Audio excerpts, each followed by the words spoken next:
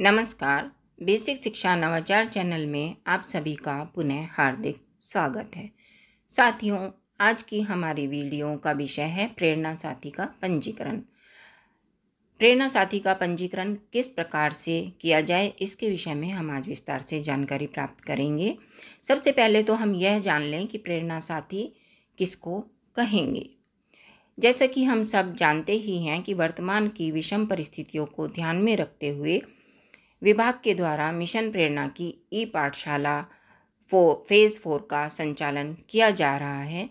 लेकिन ई पाठशाला का पूरी तरह से लाभ हमारे विभाग के बच्चे नहीं ले पा रहे हैं, क्योंकि उनके पास, उनके अभिभावकों के पास पर्याप्त मात्रा में संसाधन जैसे कि स्मार्टफ़ोन, इंटरनेट इत्यादि उपलब्ध नहीं है।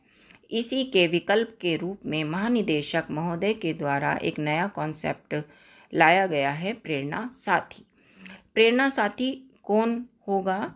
प्रेरणा साथी कोई ऐसा व्यक्ति होगा जो गाँव का ही निवासी होगा और वह बच्चों का कोई परिचित, कोई रिश्तेदार, कोई पड़ोसी या समुदाय का ऐसा व्यक्ति हो सकता है जो कि निस्वार्थ भाव से बच्चों की सहायता करने के लिए तैयार हो।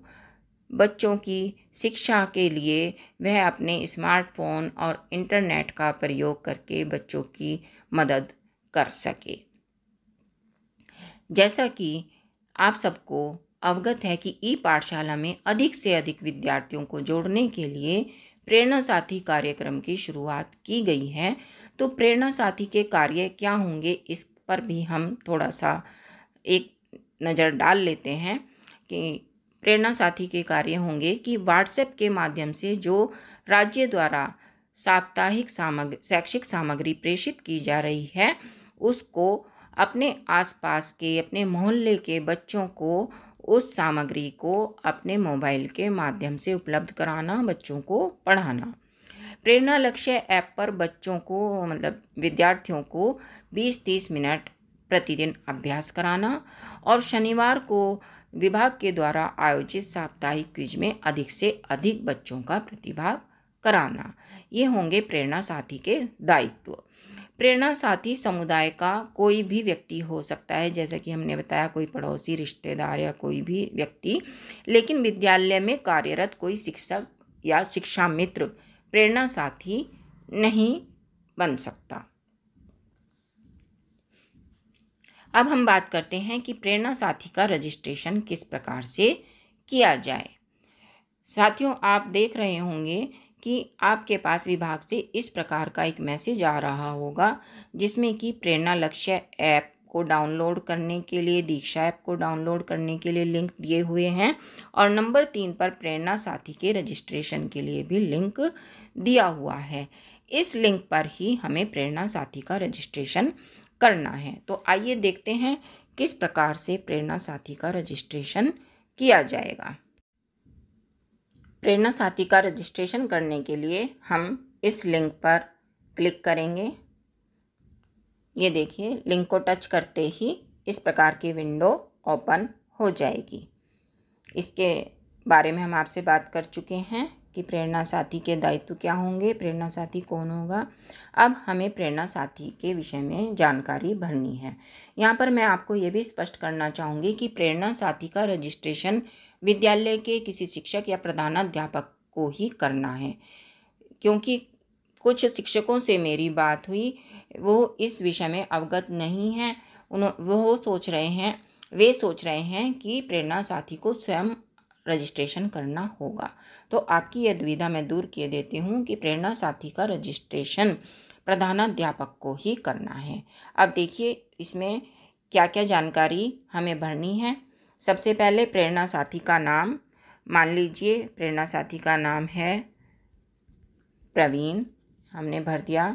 इसके बाद प्रेरणा साथी का लिंग, इसमें पुरुष है तो पुरुष, महिला है तो महिला पर हम क्लिक करेंगे। प्रवीण हमने नाम भरा है तो पुरुष हमने उसका लिंग भर दिया है। प्रेरणा साथी की उम्र मान लीजिए पच्चीस वर्ष है, वो हमने भर दी। यहाँ पर प्रेरणा साथी का हमें व्हाट्सएप नंबर भरना है। मान लीजिए हमने नंबर भर दिया, प्रेरणा साथी का व्हाट्सएप नंबर ये भर दिया है।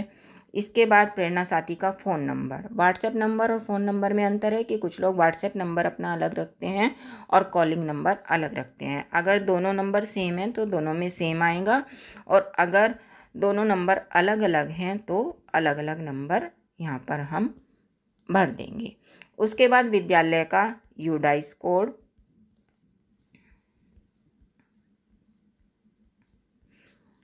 इस तरह से विद्यालय का यूडाइस कोड भर दिया जाएगा। इसके बाद है, क्या प्रेरणा साथी ने मदद करने के लिए विद्यार्थी चुने हुए हैं? हाँ या नहीं? यदि हाँ तो हाँ पर क्लिक करेंगे। यदि नहीं तो नहीं पर क्लिक करेंगे।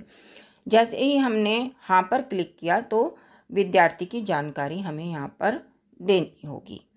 प्रेरणा साथी ने मदद करने के लिए कितने विद्यार्थी चुने हैं? मान लीजिए, दो या जो भी उसकी संख्या है, चार, पाँच, जो भी, वो हम यहाँ पर भर देंगे। अब एक एक विद्यार्थी की डिटेल इसमें भरनी होगी।